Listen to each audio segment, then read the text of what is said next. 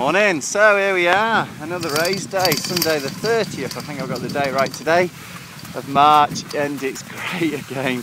Glorious weather, very inverted the air, it's as warm up here, if not warmer than it is down in the valley, it's probably about 8 degrees C, but that means that the snow's in a really nice spring snow. It's a little bit sticky at first, but once it gets run over, then it gets in uh, nice and fast, as you can see with this guy coming down. Um, we've got Savages in, still in fantastic condition and we're probably still just skiing on the, uh, the snow what fell about a week ago. That's still not thawed out and got down to the original base what we've had for, for most of the season now. President is good fun. Um, the terrain park suffered a bit in the thaw, but you know, we can still bounce around on there and have a bit of fun. And uh, way out west is in great nick too.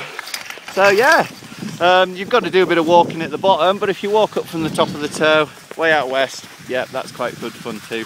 So, again, it's going to keep going for a while longer. We've got plenty of snow. Get yourselves up there to Raise Mountain in the Helvellyn Central Massif.